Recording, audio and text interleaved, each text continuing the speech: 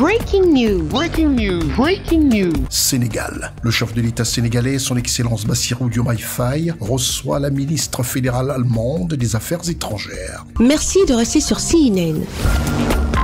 Breaking news. Breaking news.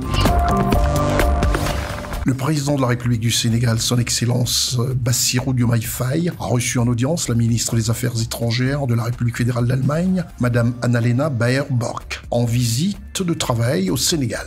L'audience au Palais de la République du Sénégal a été l'occasion pour la ministre des Affaires étrangères de la République fédérale d'Allemagne, Madame Annalena Baerbock, d'exprimer son admiration pour la stabilité de la démocratie au Sénégal, en raison de la tenue de la dernière élection présidentielle, tout en saluant la maturité du peuple sénégalais. Il était important pour moi de venir directement après les élections sénégalaises en tant que ministre des Affaires étrangères allemande, de me rendre ici pour des entretiens.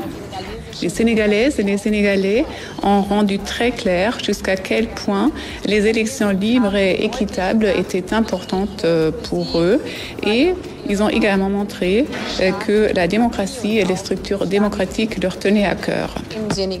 Ces élections euh, nous ont encouragés en tant qu'Européens et euh, nous, le gouvernement fédéral, nous souhaitons approfondir nos relations avec le Sénégal. Nous avons déjà de très bonnes relations. Nous coopérons dans le domaine de la protection, de la protection climatique avec les partenariats pour une transition énergétique juste.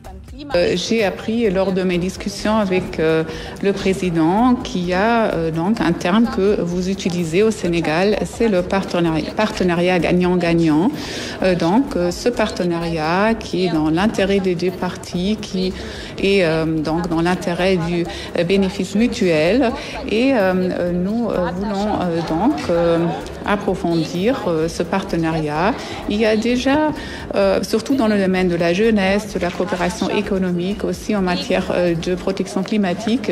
J'ai visité votre projet de bus tout à fait extraordinaire, donc le premier système de bus électrique où participent aussi des entreprises allemandes et cela montre qu'il y a beaucoup de potentiel en matière de coopération, mais euh, cela vaut également pour la coopération en matière de sécurité régionale ici et aussi en ce qui concerne la lutte contre le terrorisme et je me réjouis d'avance de la future coopération avec le nouveau gouvernement. En prélude à cette audience, la ministre des Affaires étrangères de la République fédérale d'Allemagne a effectué des visites dans les différentes infrastructures de transport urbain. Elle a ainsi visité aux côtés du ministre des Infrastructures et des Transports terrestres, El Malik Ndiaye, les locaux abritant le bus Rapid Transit.